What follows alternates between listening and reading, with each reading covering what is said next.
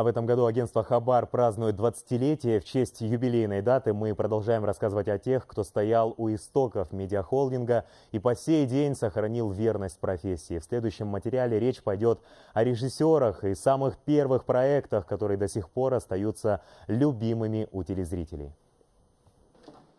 Сегодня все те же режиссеры Хабара с таким же энтузиазмом, как и 20 лет назад, когда создавался легендарный телеканал, выполняют свою работу. Середина 90-х – эпоха смелых экспериментов и постоянных импровизаций, вспоминает режиссер некогда самых рейтинговых программ Хабара Арман Карабаев. Сезон мы запускали до 15 проектов новых. Худсовет работал просто э, день, день и ночь.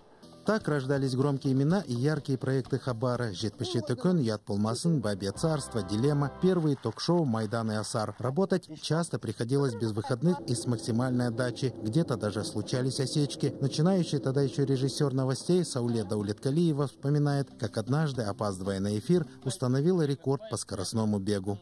Мы с журналистом бежали с одного здания до другого с кассетами, загруженные кассетами э, на каблуках. Прибежали кассеты в магнитофон и пошел команда «Мотор». Команда «Мотор» также актуальна и сейчас, и на Хабаре дирижируют новые таланты, перед которыми стоят не менее амбициозные задачи, но главное из них – завоевать телезрителей. При таком большом потоке информации э, на телевидении э, режиссеры должны быть креативными, уметь быстро охватывать новые технологии и делать его, а, то есть новости делать на высшем уровне. К слову, это и есть главная кредо не только режиссеров, но и всего коллектива Хабара – предлагать своему зрителю телепродукт исключительно высокого качества. Оскар Сергалиев, Фариза Булатбек, Нурдаулет Жаксыбаев,